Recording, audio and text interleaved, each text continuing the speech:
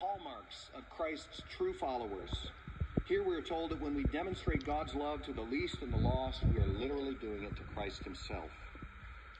But I want you to listen to my slightly different version of Matthew 25 and see if it more accurately describes many of us in the United States, in the American church. It goes like this For I was hungry while you had all you needed. I was thirsty and you drank bottled water. I was a stranger and you wanted me deported. I needed clothes, but you needed more clothes. I was sick and you pointed out the behaviors that led to my sickness. I was in prison and you said I was getting what I deserved.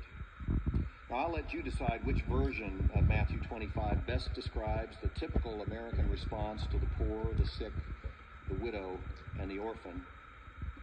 What does God expect of us? You see, the gospel is God's vision of a changed people who will challenge and transform the prevailing values and practices in our world. Jesus called this coming of the kingdom of God, he called it the